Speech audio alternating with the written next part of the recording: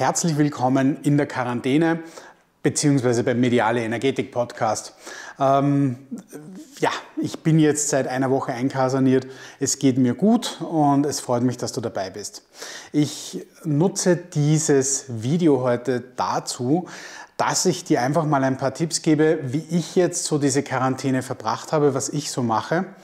Ähm, damit die Zeit schneller vergeht und was ich auch so energetisch bei mir mache, dass ich mich unterstütze, möglichst schnell wieder Selbstheilungskräfte äh, zu aktivieren. Ja, grundsätzlich ist es ja so, ähm, und alle Frauen werden mir da recht geben, es gibt ja natürlich diese bekannte Männergrippe, wo Männer ja wirklich leiden und das Leiden Christi sind. Und ich nehme mich da gar nicht raus, also ich bin da auch ganz furchtbar arm. Ähm, und, und da komme ich gleich zum ersten Punkt. Nämlich, wenn man da so, so hängt und sagt, ach, da, da fallen jetzt so viele Termine aus oder äh, dann, dann muss ich diese und jene Sachen verschieben, dann fühlt man sich nicht gut, dann, dann wird man so ganz klein und, und in sich gekehrt. Ja? Also Selbstmitleid ist ja so eine Energie, die geht ja so nach innen und macht ja so zu, ich bin arm, ich bin, und, und dann macht das so zu. Und bei einer Heilung so wie es energetisch laufen sollte, da sollte man ja offen sein.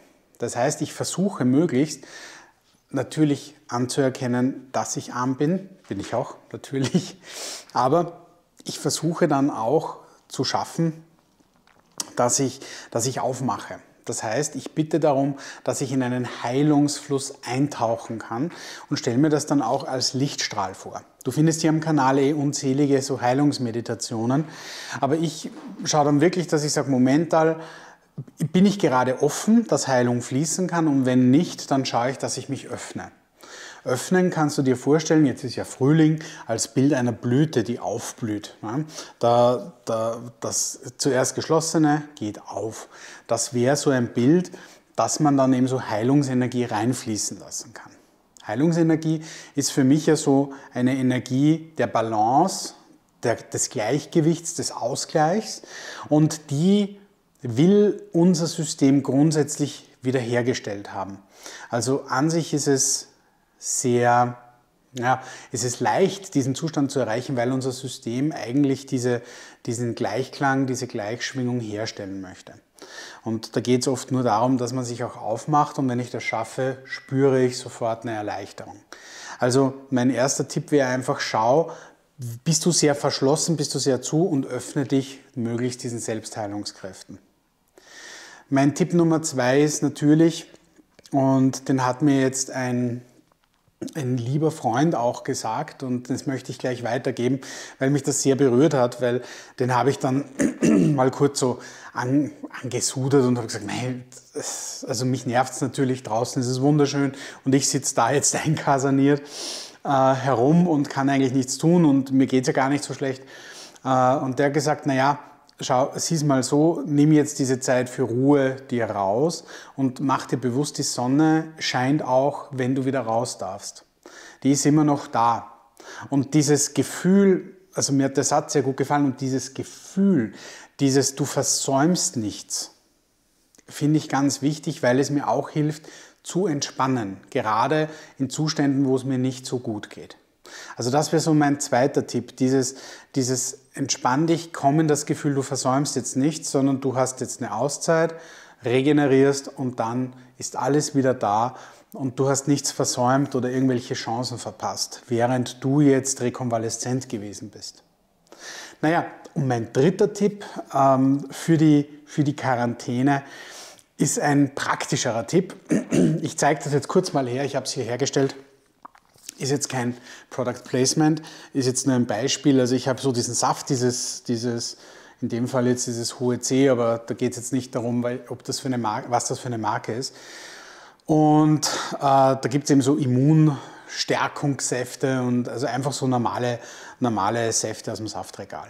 Und da stelle ich mir vor, auch energetisch, und das kann man gerne als Placebo-Arbeit nennen, aber ich stelle mir vor, das stärkt mein Immunsystem. Und ich stelle mir da auch vor, gerade wenn, man, wenn ich krank bin und nicht so Appetit habe, welche Farben würden mir denn da schmecken? Weil es gibt ja unzählige Säfte, die man kaufen kann. Und soll das ein sonniges so Orangensaft sein? Soll das eher was Rotes sein? Ähm, so wie dieser Saft jetzt ist. Und da tendiere ich dann eher zu Farben hin und trinke dann auch solche Säfte und stelle mir auch dazu vor, dass das genau mir diese Nährstoffe braucht, die ich benötige, um möglichst schnell gesund zu werden. Das heißt, ich nehme mir da wirklich so eine, ja, eine Farbpalette an, an Säften, das kann man sich ja vorstellen. Was, was möchtest du? Ananas oder Apfel oder welche Art Farbe würde dir gut tun? Und das trinke ich dann in Saftform und ist auch eine Art quasi der, der kleinen Selbsttherapie, der kleinen Selbstheilung für mich. Äh, wenn du schon fortgeschritten bist, kannst du natürlich da auch Frequenzen aktivieren ne, bei diesen Säften. Also einfach mal schauen, dass die Vitamine aktiver werden, dass du da, dir da mehr rausholen kannst. Ähm, ja, wenn du mal einen Kurs bei mir gemacht hast oder energetisch gearbeitet hast, da lernt man ja solche Sachen. Ja, das wäre es einmal heute aus der Quarantäne, aus dem Eingesperrtsein. Und ähm, ja, ich freue mich aufs nächste Mal wieder, wenn wir uns sehen. Ähm, bleib gesund, ähm, auch wenn das jetzt für mich, Gott sei Dank, kein, keine Riesensache jetzt war. Aber bleib gesund ähm, und, und hab Spaß und hab Freude und genieße den Frühling. Wir sehen uns nächstes Mal. Dein Oliver Ereni. Liebe Grüße aus Linz und alles Gute. Tschüss.